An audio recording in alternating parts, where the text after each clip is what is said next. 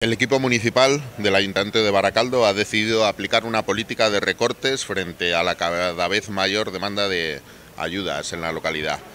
El pasado 20 de marzo, la Consejería de Empleo y Políticas Sociales del Gobierno vasco hizo pública los criterios y las cuantías máximas de las ayudas de emergencia social.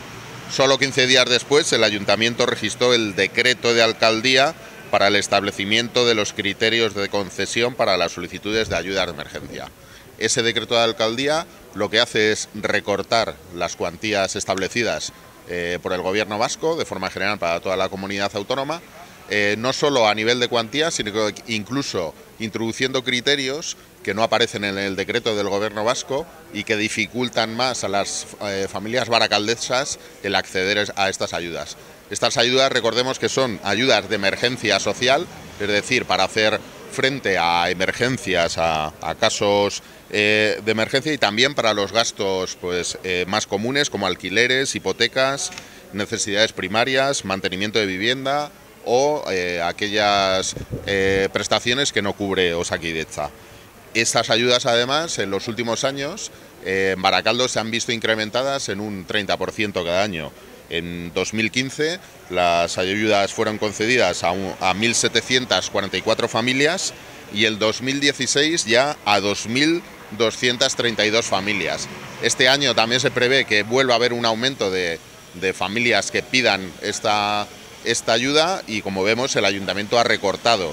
eh, ese,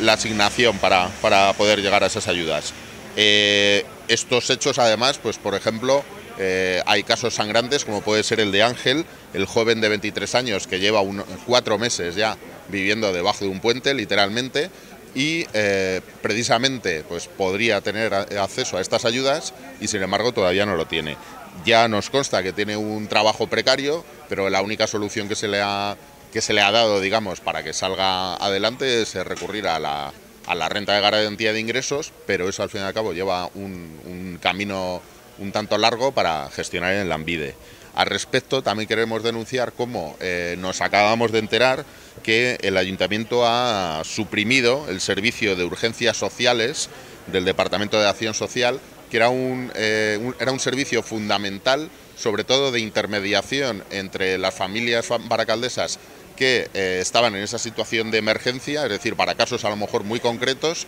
que hacía de intermediación con la o con otras administraciones para casos urgentes o de emergencia.